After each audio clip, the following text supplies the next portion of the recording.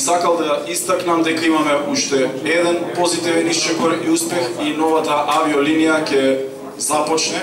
Бих желал да подчертая, че това е нали, една голяма стъпка напред и че новата авиокомпания, авиолиния ще започне Ќе започне да сообраќа од Софија кон Скопје на 27 март. ще бъде открита и ще започне а, да се изпълнява от 27 март. Што на денешната средба заедно со туроператорите од двете земји и воздухопловните власти од двете земји с което на настоящата среща между туроператорите от двете а, държави донесовме на вистина значајни заклучоци приехме наистина значителни заключения.